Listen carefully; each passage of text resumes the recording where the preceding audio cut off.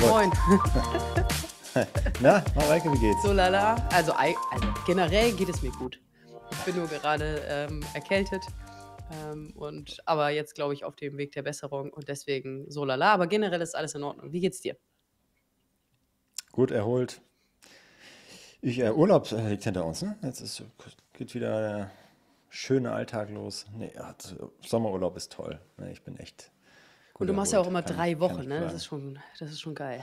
Ja, das ist äh, natürlich getimed oder synchron mit Mhm. Ja, der Kita-Schließzeit. ja, Ja, und mal gucken, wie es dann mit so Sommerferien ist. Das Mhm. Sechs wird Wochen nächstes Jahr wird spannend. Spannend, ne? So lange mache ich nicht. Nein? Nee. Muss mal gucken, wie man die Zeit Nö, rumkommt. äh, ja, ich bin also noch gut entspannt dafür, dass eigentlich ganz schön viel, wenn ich mal so auf den Kalender gucke und auf die anstehenden Events im September. Das wird ja auch Ja. ganz spannend. Auf wie vielen bist du so Ähm, unterwegs? ich mache jetzt drei. Und du? Wo, wo trifft man dich? So? Ach herrje, ich bin. Ja, warte, nein, nein, Ich ich, weiß, zusammen, ich jede- krieg's zusammen. Ja, ja, ja. Ich bin in Bielefeld am 2.9. Dann bin ich Ende Was ist da? September. Oh, Florian, der ba Ja, ich Barbecue E-Commerce Day oder so heißt das, glaube ich. Mhm, Okay. Hauptsache, du weißt nicht, wohin Florian. du mich schickst, ey. Ich schicke dich nirgends, das ist Marketing. Also nicht. Dann äh, sind wir Ende September sind wir in Jena beim SEA Camp. Aha, Und aha, dann bin gut. ich Mitte Oktober noch auf der White Label in Frankfurt. Ah, Frankfurt, das legendär Genau. ja auch. Wo trifft man dich denn? Ups. ja, auch ganz viel. Punkt. Nee, Merchant Day in Hamburg jetzt bald schon. Also ich glaube, wenn der Podcast rauskommt in dieser Woche. Äh, ja. Ach, und dann äh, Weimar Amazon Sales Kongress. Dann ist die, die Mexco in Köln. Da waren wir auch schon lange nicht Äh, mehr. Dann. Nee. Also ist ja auch ein paar Mal ausgefallen, aber Ja, Corona-Pause und so, da bin ich auch mal gespannt. Da bin ich auf der Amazon World in Krass. München. Dann bin ich noch in Tirol. Okay. Das ist auch noch eine Veranstaltung. Ja, und so läppert sich das. Ich habe bestimmt noch was vergessen. Ja, absolut. Very important people einfach. wir haben gerade schon gesagt, wir haben jetzt ähm, ein paar Wochen lang keinen Podcast zusammen aufgenommen, eben weil Elternzeit, Urlaub, dies, das. Wir haben ein bisschen vorproduziert, ein bisschen Sommerpause gemacht. Jetzt sehen wir uns wieder. Jetzt nehmen wir nach langer Zeit mal wieder einen Podcast zusammen auf. Und? Das kommt Wir jetzt. mussten uns ja aber auch schon mit den nächsten Wochen auseinandersetzen und uns ja auch für die nächsten Wochen einfach, weil so viel ansteht, weil wir auf so vielen Events sind und weil ich dann auch noch im Sommerurlaub bin, müssen wir uns schon wieder aufteilen und trennen und ähm, Podcasts alleine aufnehmen. Wie traurig ist das? Ja, ja das, ist, das wird leider passieren, dass die eine oder andere Folge wieder Ja. alleine stattfinden wird. Ja, das ist wirklich traurig. Total. Aber ich freue mich auf die Nikolaus-Folge, weil wenn alles gla- glatt geht, dann ähm, nehmen wir am 6. äh, Dezember äh, die Nikolaus-Folge quasi auf in unserem neuen Office, in unserem neuen Das wäre Podcast-Studio. natürlich richtig, richtig geil. Nur das dauert nur ein Das- paar so lang Monate. ist es gar nicht das mehr. Vor allem, wenn man sich überlegt, was bis dahin alles passiert. Mit Aufgaben und Events und dann noch ein bisschen Urlaub und dann ist es schon da. Das, äh, die Sache, ich als guter Arbeitgeber mit dem Urlaub, ne, äh, das ist auch eigentlich verrechnet mit der Elternzeit, dachte ich. Ist Nein, Spaß beiseite. Ist es auch. Ich habe äh, 50 Prozent ähm, arbeite ich dieses Jahr ja nur, nur und habe entsprechend auch nur 50 Prozent meines Urlaubs. So, So, das okay, habt ihr okay. schon runtergerechnet, wollt- keine Angst. Ich, woll- ich wollte nur Quatsch machen. so, und wir sind, wir haben ja versprochen, vor der Sommerpause haben wir so ein kleines Special gemacht, so ein paar Fragen und das war richtig, hat Ja. richtig Spaß gemacht und wir haben gemerkt, ei, ei, ei, das könnte man mal verstetigen. Da kommt auch ah, im neuen Jahr wahrscheinlich auch nochmal was Neues, wenn wir hier so ein bisschen mal, wenn wieder Ruhe einkehrt, dann machen wir ein bisschen ein neues Konzept und so. Aber das Konzept der Fragen ist grundsätzlich gut und so gut, dass wir jetzt nochmal eine Special-Folge zum all euren Fragen Fortsetzung. Ja, Fortsetzung. Wir haben drei Blöcke, glaube ich, so grob abgesteckt, wobei die immer so ein bisschen nicht ganz klar getrennt sind, aber grob. Ja, ich glaube, als wir ähm, vor der Sommerpause gesprochen haben, haben wir gesagt, wir haben fünf und davon hatten wir drei schon fertig und hatten Ja. noch zwei, aber ähm, wir haben jetzt noch so viele Fragen gefunden und reinbekommen, dass wir noch einen weiteren Block aufgemacht haben und wieder mit drei Blöcken am Start sind. So, zack. Mal gucken, ob wir, ob wir das schaffen, die drei. Kriegen wir hin. Äh, Erster Block, da geht es um Keywords und Match-Types. Das sind auch mal so Dauer, Dauerbrenner. Ne? Also, wie sollte ich Match-Types nutzen? Wie viele Keywords soll ich in eine Kampagne packen? Was sind da eure Tipps? Und äh, Mareike, ich hau mal die, die erste an den Kopf. Welchen Matchtype sollte man am besten wählen für meine, für die Brand-Kampagne? Sollte es exakt sein? Sollte es phrase sein? Broad? Also bei der Frage bin ich ja überhaupt schon mal äh, glücklich und zufrieden, dass äh, der Fragensteller ähm, in Betracht zieht, eine Brandkampagne überhaupt aufzusetzen und seine so, und, und check. ja, das ist wirklich schon mal sehr, sehr gut und seine ähm, Suchanfragen ähm, in verschiedene Kampagnen reinzuschicken und für die Brand-Suchanfragen eben eine extra Kampagne ähm, zu erstellen. Das ist schon mal richtig, richtig geil. Und ähm, ja, jetzt die Frage, ähm, wahrscheinlich hast du eine, eine Brand und einen Brandnamen und diesen möchtest du dann in die Kampagne einbuchen als Suchbegriff. Okay, ähm, jetzt kannst du es dir einfach machen und diesen ähm, Brandnamen ähm, oder vielleicht hast du auch verschiedene, verschiedene Produktbrands, aber diesen einen Namen oder diese mehreren Brandnamen ähm, als Phrase in deine Kampagne einbuchen. Warum? Ähm, weil dann Brand- und Produktvariation, also Suchbegriffe, in denen deine Brand und ein Produkt vorkommen, eben auch in diese Brandkampagne reinlaufen, was total Sinn ergibt. Ähm, wenn du aber sagst, du möchtest ähm, die, deine Brand als exakt einbuchen, dann müsstest du, wäre das Ganze ein bisschen aufwendiger. Dann müsstest du noch mehr recherchieren, gucken, welche Produkte du hast, gucken, welche Suchanfragen dazu reingehen könnten und dann jede Brand, Produkt, Suchanfragenvariation als exakt einbuchen. Das ist, glaube ich, relativ Mhm. aufwendig und wahrscheinlich nicht ähm, 100% abbildbar. Deswegen würde ich empfehlen, die Brand als mindestens Phrase, wenn nicht sogar Broad, ähm, in die Kampagne einzubuchen. Ja, finde ich gut. Das ähm, muss ich ja fragen, was verliere ich, wenn ich zu viel ähm, ähm, ja, äh, auffange an Suchbegriffen, die vielleicht nicht 100% relevant sind. Ähm, also da, klar, das kostet ein bisschen was, äh, aber es ist, glaube ich, viel teurer, wenn ich am Ende zu Ja. eng mein, äh, mein Netz da auf- aufspanne und da mir Brand-Suchanfragen oder pro spezifische Produktsuchanfragen durch die Lappen gehen. Deswegen würde ich da auch eher breiter aufgestellt sein, Phrase bis Ja. Broad, um alles Wir mitzunehmen. sagen ja auch ähm, immer lieber breiter anfangen als zu exakt. Also lieber erstmal ein bisschen zu viel drin haben, dann äh, die Kampagne nach zwei Wochen, vier Wochen, acht Wochen nochmal angucken, schauen, ob da wirklich der Traffic Mhm. reinfließt, den ihr haben wollt. Und dann könnt ihr ähm, die, die äh, Keywörter oder auch die Matchtypes immer nochmal ähm, optimieren. Aber wenn ihr die halt von Anfang an als exakt einbucht, dann passiert genau das, was Florian gerade gesagt hat. Ihr wisst nicht, was euch durch die Lappen geht. Richtig. Noch nicht so gut. Ja. Cool, Nice. check. Finde ich gut. Nächste Frage. Soll ich sie, sie dir stellen? Ich glaube, da, Ja, ich, ja. Wir haben, haben, haben sie uns nicht so richtig vorher angeguckt. Also ich zumindest nicht. Also mal gucken. Ja, Äh, eu- genau, die nächste Frage ist, ähm, ob Amazon Einzahl und Mehrzahl unterscheiden kann. Also wenn ähm, wir als Keyword Stift einbuchen, wird dann die Anzeige auch zu dem Suchbegriff Stifte ausgespielt. Ähm, da kann man, glaube ich, den Suchanfragebericht ganz gut einfach zur Rate ziehen und wird feststellen, dass da ziemlich viel noch, obwohl ich exakt nutze, äh, reinfällt. Mhm. Also ja, Einzahl, Mehrzahl. Ich habe den Hilfetext jetzt nicht zur Hand, aber da Ja. wird das mit Sicherheit auch drin stehen, dass, dass sie das erlauben. Ähm, Ich Ja, glaube das- sogar das zu einfache. Rechtschreibfehler werden, ähm, glaube ich, sogar Ja. auch ähm, Ja. akzeptiert. Ich weiß, dass Google seinerzeit ähm, das krass aufgeweicht hat. Das, also exakt wurde immer weicher irgendwie. Also der Fans hätte das doch jetzt wirklich weit weg von dem, was ich exakt eingebucht habe. Aber na gut. Ist halt immer eine gute Möglichkeit, um mh, ja für aus Sicht von Amazon in dem Fall möglichst bereit das exakte Keyword-Targeting au- auszuspielen. Aber ist ja auch okay, weil es ist ja wirklich das Gleiche Ja. gemeint. Und das ist, glaube ich, das, was dann äh, Amazon. Boah, stell dir mal äh, vor, du müsstest dahinter. quasi jedes Keyword doppelt einbuchen, um Mehrzahl, Einzahl und um, um das abzubilden. Das ist ja, Ja. das macht ja keinen Spaß. Total, ja. Easy, also von daher, ja, wird schon mitgehandelt.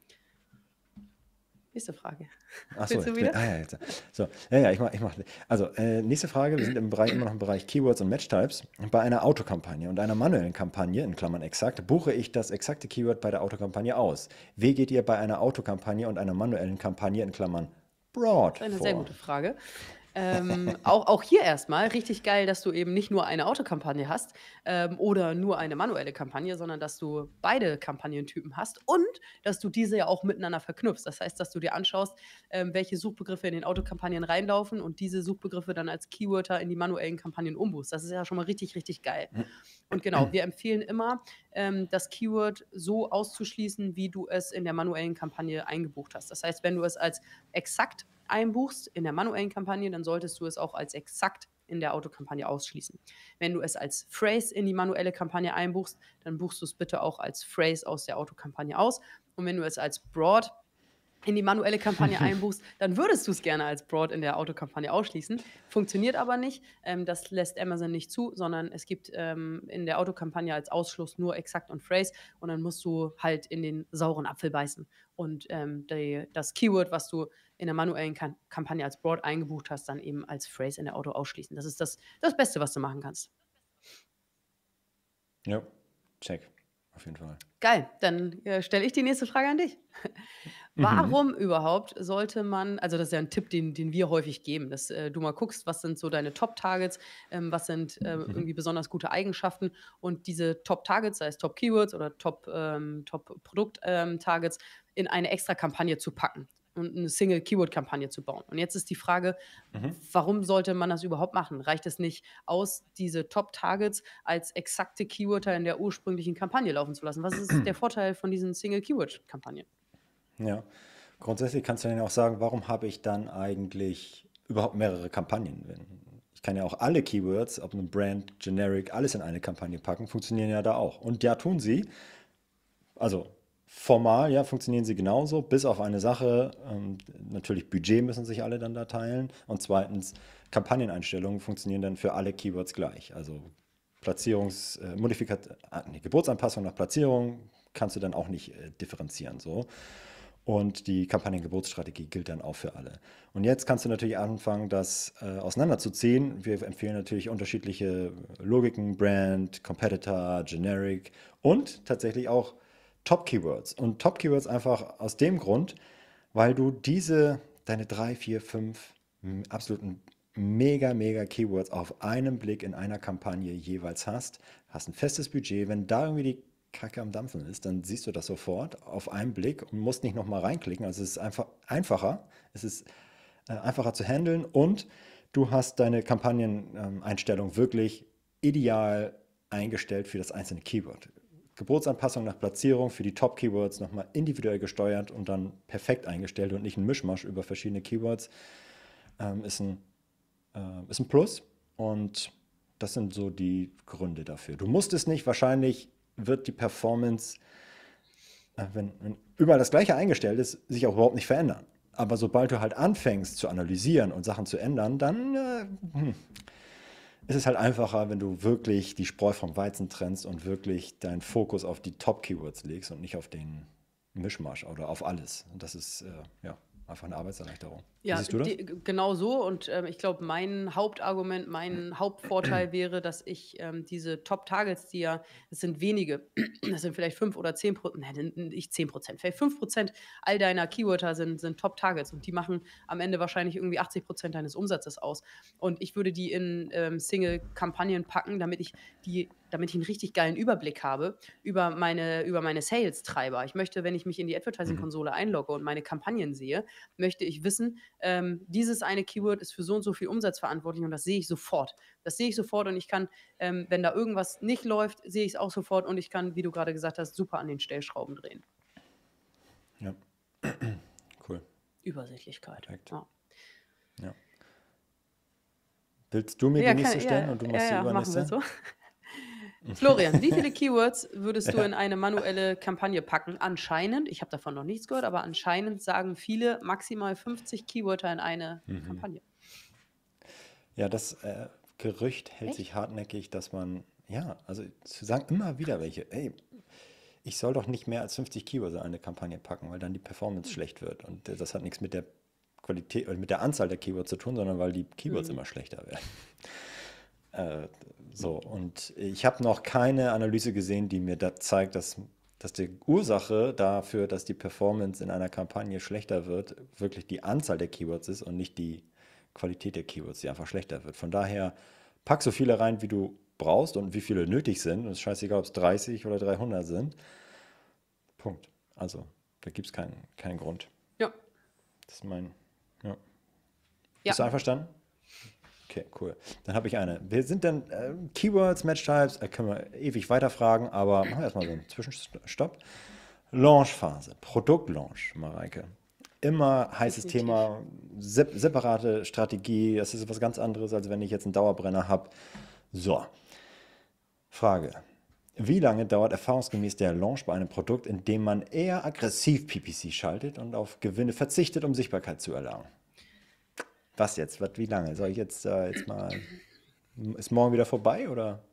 Das ist tatsächlich eine Frage, die uns sehr häufig gestellt wird. Wie lange dauert das? Und auch sehr, sehr gerne genommen, wie viel Geld sollte ich dafür investieren? Wie viel Geld sollte ich dafür bereitstellen? Ähm, ja. Ich kann total verstehen, dass diese Frage gestellt wird und ich hoffe auch, dass wir eine okaye Antwort ähm, darauf haben. Ähm, was ich auch hier in der Frage schon mal richtig gut äh, fand, ist, ähm, dass dir anscheinend bewusst ist, dass wir in der Produktlaunch-Phase eine No-ACOS-Phase haben. Das heißt, hier können wir noch nicht mal auf Gewinne, aber auch nicht auf Wirtschaftlichkeit achten, sondern hier geht es wirklich um, um Sichtbarkeit und darum, dass das Produkt in den Markt zu, zu, zu bringen. Das heißt, wir haben eine No-ACOS-Phase. Wir achten auf jeden Fall nicht auf den ACOS sondern wir berechnen ein, ein initiales Gebot und das können wir dann schrittweise erhöhen und uns da rantasten, und zu, um zu schauen, mit welchem Gebot ähm, bekommen wir wie viele Impressionen und wie viele Klicks und am Ende natürlich auch wie viele Conversions und wie viel ähm, Adspend wird daraus generiert. So, ich fange mit einem mit Gebot an und erhöhe das schrittweise und äh, bin wirklich in der, in der Produktlaunch-Phase auch ganz, ganz eng dran und gucke mir jeden mhm. Tag die, die Performance an und drehe jeden Tag ähm, an den Geboten und an anderen Einstellungen. So, und mhm. ähm, jetzt, äh, wie lange dauert das? Ähm, ja, das ist halt äh, die, die Frage, was deine Kriterien sind. Du solltest dir vor der Launchphase überlegen, wann ist für mich ein Launch beendet. Wenn ich x Conversions generiert habe, wenn ich x Geld ausgegeben habe, wenn ich x Klicks generiert habe. Also dann, wenn du sagen kannst, A, das Produkt ist im Markt und B, ich habe alles gelernt, was ich lernen muss über die Performance dieses Produktes, um es weiter zu optimieren. Und diese Kriterien musst du für dich definieren. Und ähm, anhand dieser Kriterien kannst du dann aber vorab zumindest schon mal dein Budget kalkulieren. Du kannst schwierig die Zeit kalkulieren, weil du nicht weißt, äh, deine, sagen wir mal, du willst, keine mhm. Ahnung, 1000 Klicks erreichen oder 100 Conversions. Da weißt du halt im Vorwege nicht, habe ich die nach einer Woche oder habe ich die nach einem Monat oder habe ich die nach einem halben Jahr. Das weißt du nicht. Aber du kannst zumindest dein Budget ein bisschen hochrechnen und kalkulieren, ähm, sodass du äh, da zumindest schon mal so ein bisschen Planungssicherheit hast. Nehmen wir mal an, du hast dir festgesetzt, ähm, du möchtest in der Produktlaunchphase 50 Conversions erzielen. Und danach möchtest du in die wirtschaftliche Phase übergehen. Du gehst auch davon aus, dass du eine Conversion-Rate von 10% hast. Ähm, das siehst du anhand äh, deiner Erfahrungswerte, deiner Kategorie, deiner Produkte, die du schon hast. Das bedeutet, du brauchst 500 Klicks, um 50 mhm. Conversions zu generieren. So, deine Recherchen haben auch wieder ergeben, dass du mit einem durchschnittlichen CPC von 65 Cent für dein Produkt in dieser Kategorie rechnen kannst. Also planst du 65 Cent mal 500 Klicks sind 325 Euro Kosten während der Produktlaunchphase.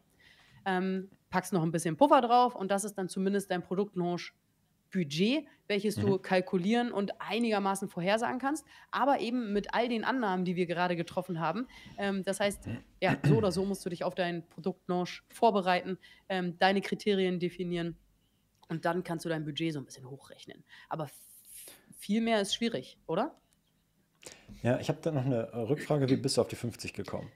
Also warum 50 Conversions? Ja, weil, also weiß ich nicht. Äh, es hat sich erstmal gut angefühlt. Wir haben ja auch so ein bisschen Erfahrung mhm. ähm, mit, mit unseren Kunden, die wir betreuen. Ähm, wir können sagen, ähm, wann auch eine Kampagne genügend Daten hat, um sie richtig gut bewerten zu können. Und äh, da hat sich 50 für mich einfach gut angefühlt. Ich glaube, dass ähm, fünf Conversions viel zu früh sind. Ähm, ich glaube, große Unternehmen und auch ähm, große Unternehmen mit vielen Produkten, die haben wahrscheinlich noch viel, viel mehr Conversions. Also 50 ist Pille, Palle, aber ähm, ich glaube 50 Conversions. Ähm, dann kann ich schon mal eine Einschätzung vornehmen, wie dieses Produkt funktioniert. Mhm.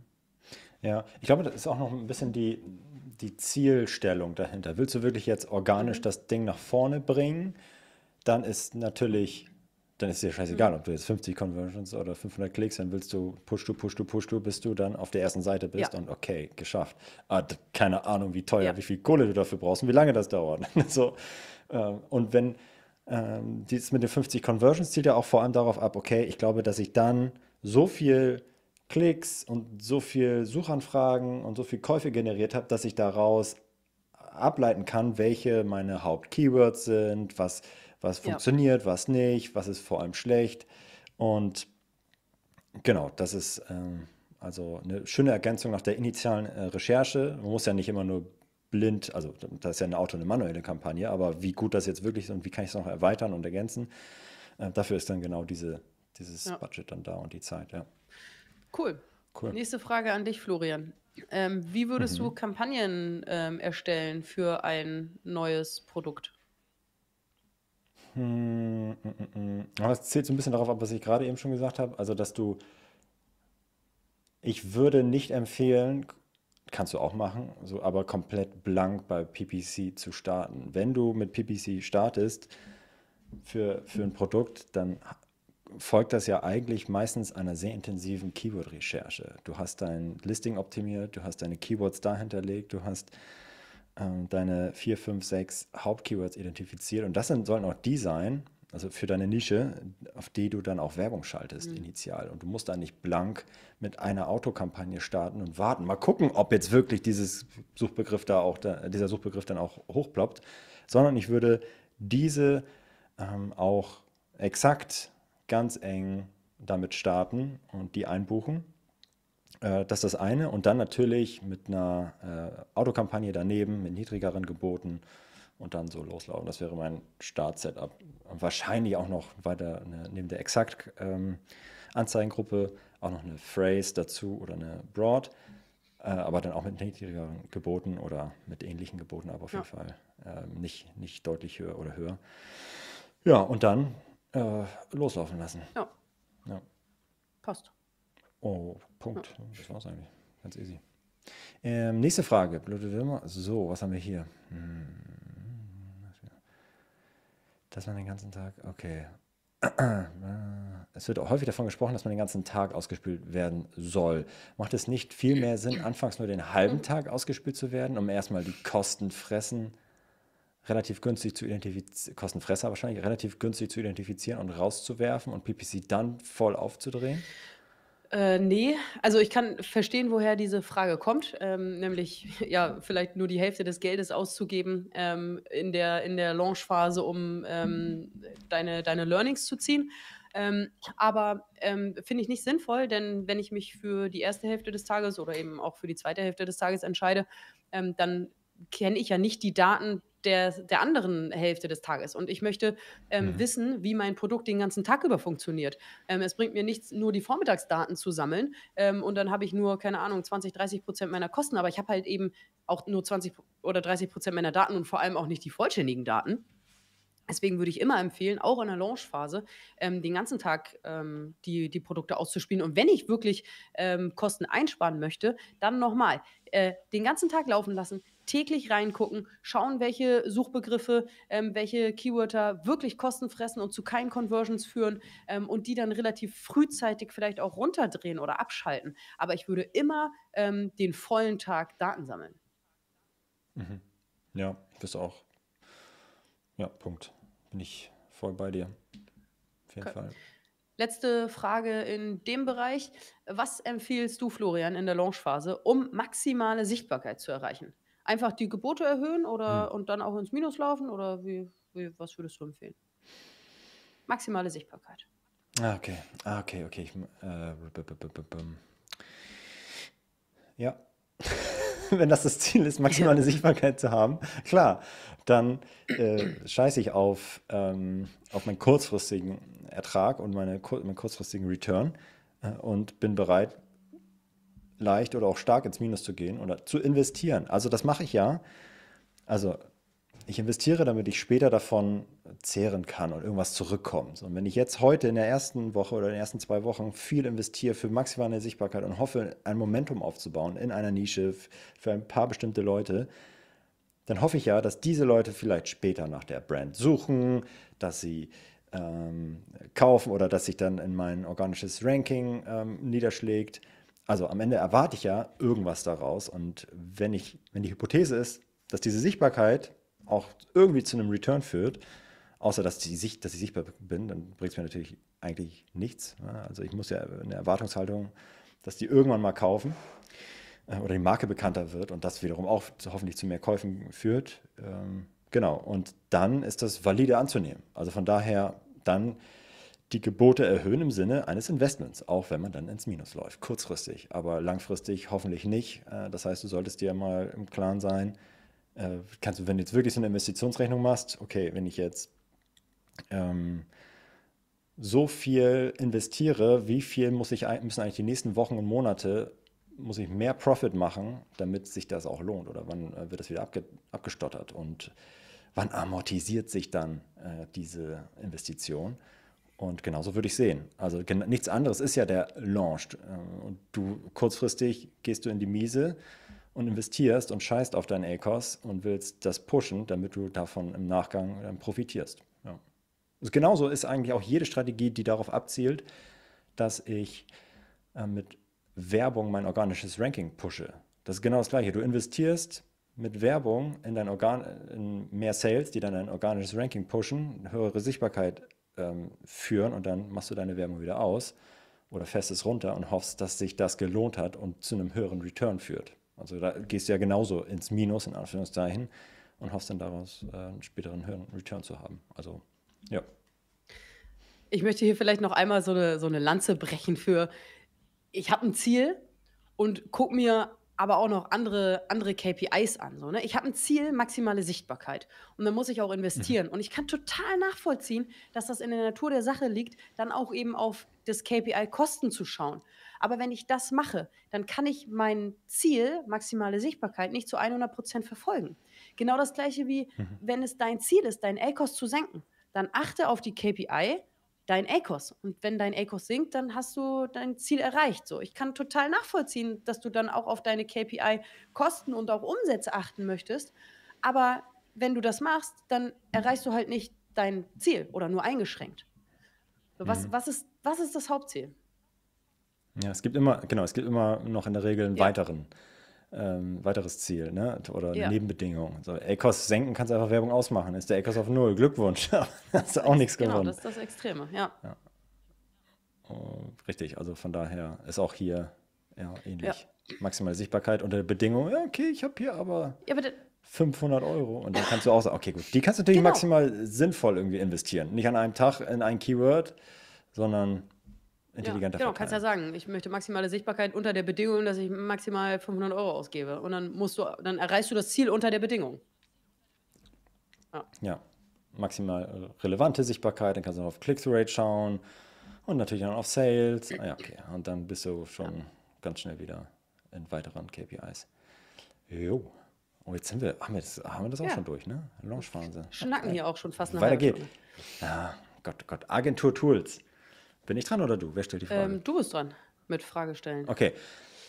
Äh, einerseits wird immer empfohlen, sich gerade am Anfang ausgiebig mit PPC äh, zu beschäftigen und seine eigenen Erfahrungen zu machen. Absolut, ja.